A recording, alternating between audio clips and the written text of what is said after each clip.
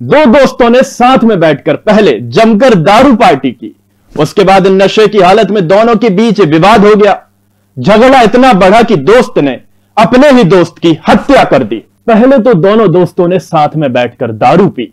दारू पीने के बाद दोनों दोस्त नशे की हालत में थे।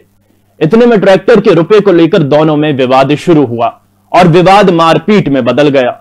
गुस्साए दोस्त ने सब बल उठाकर अपने दोस्त को दे मारा। जिससे युवक के सिर पर गंभीर चोट लगी और उसकी मौके पर ही मौत हो गई। यह पूरा मामला गौरीहार थाना क्षेत्र का है।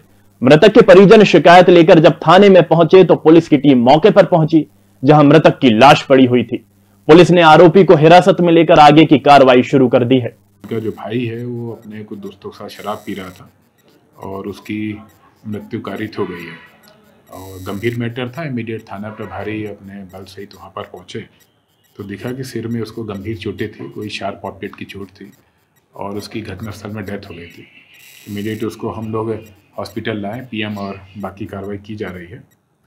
और प्राइम फेस आया कि वहीं कहीं रहने वाला एक इसका जो फ्रेंड था, तनु अहिरवाल, ये लोग बैठ के शराब पी रहे थे और किसी बात में वाद विवाद हुआ है।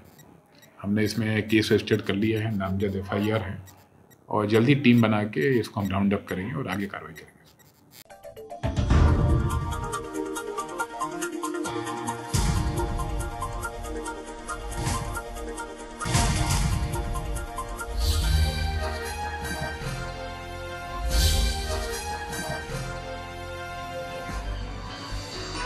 आप देख रहे हैं दखल न्यूज़।